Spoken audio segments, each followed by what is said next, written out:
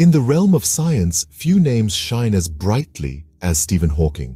Born in England 1942, this theoretical physicist made waves with his revolutionary theories. He battled a rare form of motor neuron disease diagnosed at just 21, defying all odds with a lifespan of 76 years. Hawking's work on black holes and the Big Bang Theory changed how we perceive the universe. His bestseller, A Brief History of Time, made complex astrophysics accessible to millions. Despite physical constraints, Hawking's sharp mind and wit never faded, making him a beacon of resilience and brilliance. His legacy, a universe of knowledge, a testament to human spirit and the timeless message, look up at the stars and not down at your feet. Stephen Hawking, a mind that truly touched the stars.